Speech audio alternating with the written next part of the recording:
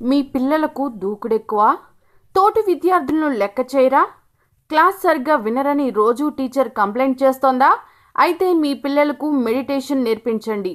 మార్పు మీరే చూస్తారు. అవును చిన్నపిల్లలను కుదురుగా కూర్చోబెట్టి క్లాస్ చెప్పడం టీచర్లకు రోజు సవాలే. భయపెట్టి బతిమాలి క్లాస్ చెప్పాల్సి వస్తుంది. అలా కాకుండా పిల్లలు బుద్ధిమంతుల్లా కూర్చుని క్లాస్ వినడం తోటి విద్యార్థులతో ప్రేమగా మసులుకోవడం చేస్తే ఎలా ఉంటుంది? అంతకన్నా సంతోషం ఏముంటుందంటారా? అయితే మీ స్కూల్లో మెడిటేషన్ పాఠాలు చెప్పండి. పిల్లలు మెడిటేషన్ చేయడం వల్ల చురుకుగా మారడం సైలెంట్గా క్లాస్ వినడం చేస్తున్నారని ఓ అధ్యయనంలో తేలింది. ఇతర విద్యార్థులతో పోలిస్తే మెడిటేషన్ ప్రోగ్రామ్స్లో పాల్గొన్న విద్యార్థులు పదిహేను శాతం ఎక్కువ మార్కులు తెచ్చుకుంటున్నట్లుగా కూడా నిర్ధారణ అయింది.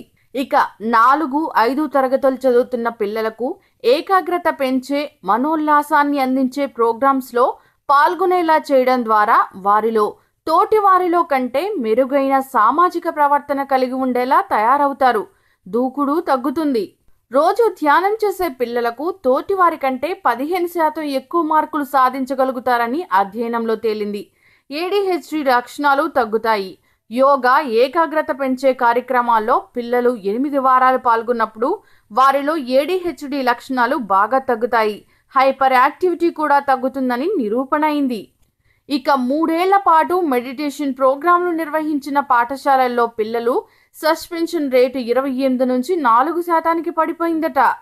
తొమ్మిది మెడిటేషన్ క్లాసులు విన్న పన్నెండు నుంచి పదహారేళ్ళ పిల్లలు తొమ్మిది డిప్రెషన్ క్లాసులు అటెండ్ కావడంతోనే వారిలో డిప్రెషన్ బాగా తగ్గిపోయింది.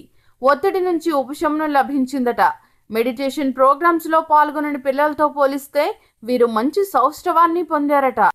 ఇక ఎలిమెంటరీ స్థాయిలో మెడిటేషన్ క్లాసులు నిర్వహించడం ద్వారా పిల్లల్లో better focus self control class participation తోటి విద్యార్థులను గౌరవించడం వంటివి పెరిగాయని టీచర్లు ధృవీకరించారు.